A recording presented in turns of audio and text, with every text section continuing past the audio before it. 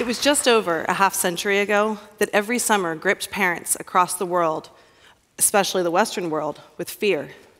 In its heyday of the 1940s and 1950s, polio killed or paralyzed more than half a million people across the world. Outbreaks led to public closures. People avoided friends and neighbors out of sheer terror that they would be struck by the disease or their children would.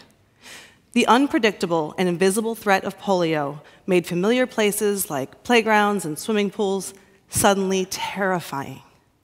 So the arrival of the polio vaccine was like a liberation. The enemy previously lurking behind every corner had been vanquished. It was the tremendous relief that earlier generations felt when they no longer lost children to tetanus or diphtheria or yellow fever. More vaccines have since followed against rubella, hepatitis A and B, pneumococcal and meningococcal disease, and more. Even the holy grail, a vaccine that prevents cancer by preventing the human papillomavirus vaccine. We completely eradicated smallpox, a horrifying disease that left those who didn't die scarred for life. Every one of you survived this. Most of you because you never had it because of this. And yet, we now find ourselves in a century when we can beat back more than two dozen diseases that once killed millions. And the biggest threat to public health, or one of them, is not the diseases themselves, but vaccine hesitancy, the fear that holds parents back from vaccinating their children. What happened? How did we get to this point? Well, when my first son was born, I turned down a vaccine. I didn't think it was necessary. I didn't understand it. I wasn't dumb or stupid. I was actually in grad school, but I was scared, just like hundreds of other parents I've spoken to in the six years that I've been reporting on this issue. Now, to be clear, I am talking about vaccine hesitancy and refusal, but I am not talking about that very tiny percentage of people who spout conspiracy theories or show up at government meetings spreading misinformation about vaccines. I'm talking about the fence sitters. Those parents are utterly terrified of doing the wrong thing, of harming their child when all they want to do is protect them. Consider this quote In 1736, I lost one of my sons, a fine boy of four years old, by the smallpox. I long regretted bitterly, and still regret, that I had not given it to him by inoculation. This I mention for the sake of parents who omit that operation on the supposition that they should never forgive themselves if a child died under it. My example showing that the regret may be the same either way, and that therefore the safer should be chosen. That quote comes from a kind of unexpected source a founding father of the United States, an inventor and a writer, Benjamin Franklin. If such an intelligent and worldly man as Benjamin Franklin, all those years ago, could fear vaccinating his own son, vaccine hesitancy isn't new. And those it afflicts are not ignorant or stupid. In fact, vaccine refusal rates frequently correlate with higher education. So something else is at work here. That something is what has kept us alive since we've been living in caves and hunting mammoths. It's a cognitive framework that helps us make decisions. It dictates what we pay attention to and how we assess the relative risks and, and benefits of different choices. It affects how we translate our beliefs and values into actions and behaviors. If we're going to address vaccine hesitancy, we have to address the underlying processes that lead people to believe in fears lacking any scientific basis. But first, let me back up. Why is vaccine hesitancy such a problem? Um, why, if, I, you know, if my children are vaccinated, why should I care if my neighbor's kids are vaccinated, aside from humanitarian reasons? Well, vaccines work in two ways. In an individual, the body makes antibodies in response to the vaccine against the disease. That standing army of antibodies then waits. If the pathogen they're trained to fight arrives, they attack it before an infection takes hold. But the second mechanism is just as important. Widespread vaccination reduces the ability of a disease to circulate. With fewer infected people walking around, fewer infected people are passing the disease along. No vaccine can prevent 100% of disease in 100% of people. So, this herd immunity is essential to preventing outbreaks and protecting vulnerable individuals. But as people lose faith in vaccines, herd immunity starts breaking down. Polio returned to Syria when civil unrest interrupted polio vaccinations there. And in my home country, just last year, Mickey Mouse got measles. An outbreak of measles at Disneyland in a country that eliminated measles 16 years ago spread to half a dozen states and two other countries. That outbreak showed the power of a disease to return when vaccination rates drop.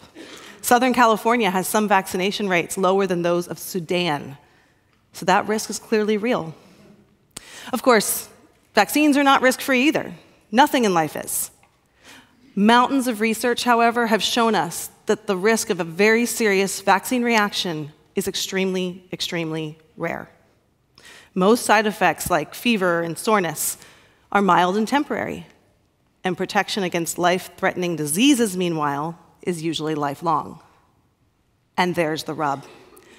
Vaccines have been so effective at reducing so much disease that we don't fear it anymore.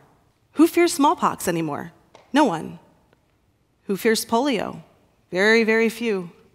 Fear of what a disease, excuse me, fear of what a vaccine might otherwise do to a child has replaced fear of the disease.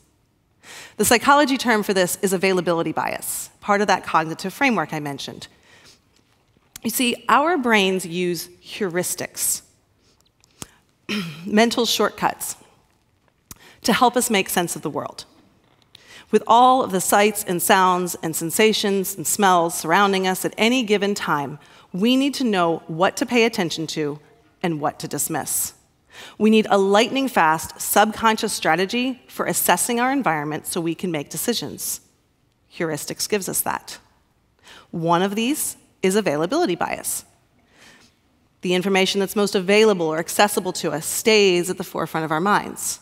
We hear about a shark attack, we fear sharks the next time we go to the beach instead of riptides or drowning. We also fear sharks because they're predators.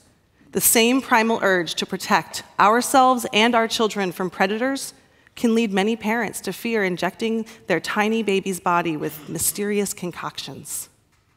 Heartbreaking stories of vaccine injury, true or not, are more available to parents online and through the grapevine. They haven't seen measles or polio in their communities, so why fear them? Better not to take the risk of vaccines, right? That's what Ben Franklin thought, and he was wrong. That's omission bias, fearfully avoiding an action with a tiny risk of harm in lieu of inaction with a greater risk of harm. Those parents don't realize, unless they have Franklin's experience, that not acting is a form of action too. And if they do vaccinate and something does happen, then it's all too easy to confuse correlation with causation. The measles, mumps, rubella vaccine is given to children around the same time that autism becomes easier to diagnose. If parents notice autistic symptoms not long after their children are vaccinated, it feels natural to blame the vaccine, despite all scientific evidence to the contrary. Our brains seek patterns and cause and effect makes the world make sense. It's incredibly difficult to deprogram that, especially when emotion is involved. Dozens of these thinking biases and errors lead parents astray. Parents think that something natural is better, but dying from disease is natural too. Most nefarious of all is confirmation bias. Our brains are incredibly protective of what we believe, and we seek out information to confirm that, those beliefs. We also engage in motivated reasoning to deflect threats to those beliefs at every turn, and we're simultaneously really, really lousy at assessing risk. Risk assessment requires engaging the intellect, and these automatic cognitive biases are often much stronger. That means that giving parents facts is not going to change their mind. Scientists learned long ago that our brains just aren't wired that way. Instead of a neatly arranged filing cabinet, our brains are more like overgrown mangroves with fears and facts and feelings all knotted together. As scientists are learning in ongoing research, there will be no single strategy to fostering vaccine confidence. A complex problem requires complex solutions. Sometimes harnessing those biases can work. When the norm is to vaccinate and everyone around us is vaccinating, people are more likely to follow suit. Sometimes also, fear can work, for better or for worse. Unflinchingly showing people what's at stake can persuade some parents.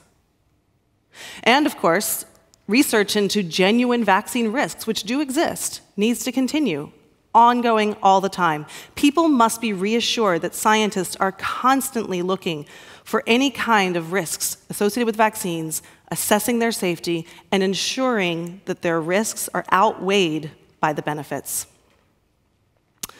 Public health messages, sometimes they can target specific fears of particular communities. For those who fear unnatural ingredients and, and value its natural, it may help to learn that the residual formaldehyde, the tiny amounts left in some vaccines, it's no different chemically than the formaldehyde that's in a pear, and there's a lot more of it. It's in our bloodstreams. Our bodies make formaldehyde. But more than anything, confronting vaccine hesitancy requires engagement.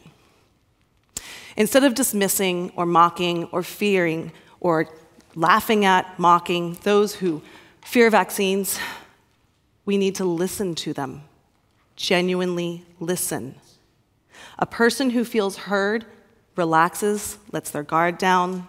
Their cognitive biases are less engaged when the threat of being attacked goes away. There will always be a tiny percentage of people that we can't reach. There always has been, that's okay.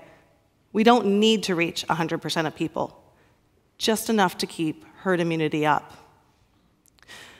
When we come across someone who fears vaccines, we won't get very far by laughing, mocking, accusing, but we might get somewhere, bit by bit, with some thoughtful communication and some empathy and compassion.